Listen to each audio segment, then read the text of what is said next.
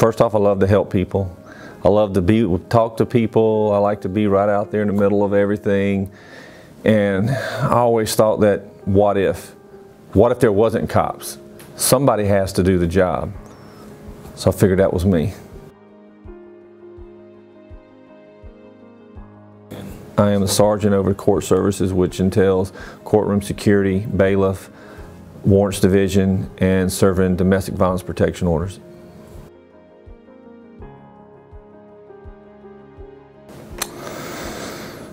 My highest moment uh, was making sergeant. My lowest moment was uh, was a Christmas Eve. We had received a call from Stone County. So there was a motor vehicle accident, um, and the guy, one of the guys in the truck had was killed. So I had to go to the house to let the mother know that it was her son. That was probably the worst moment has happened to tell somebody they just lost their child.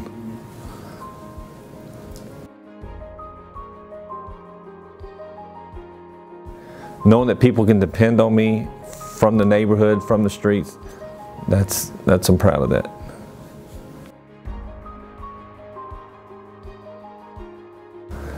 Promotion just occurred, and next thing is retirement, which is roughly about 12 to 13 months.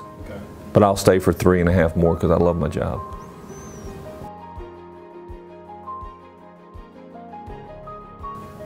I'm just a damn good drag racer. Okay. What do you race? I have two S10s and uh, with uh, souped up motors in them and I'm building a 70 and a half Z28 Camaro right now.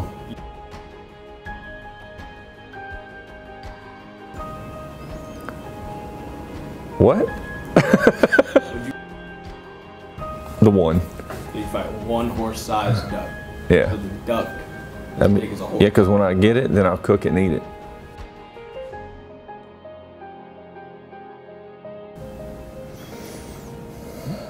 Through all the blood and the sweat, after 24 years of doing this, I'd do it all over again. It's worth it.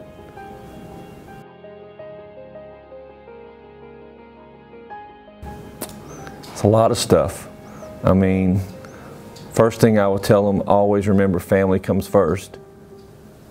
And doing this job, I can't tell, I have five kids, two which are cops now. And I cannot tell you how many Christmas mornings that I was not home. I can't tell you how many birthday parties I missed, how many Thanksgiving dinners I didn't get to eat with family. Um,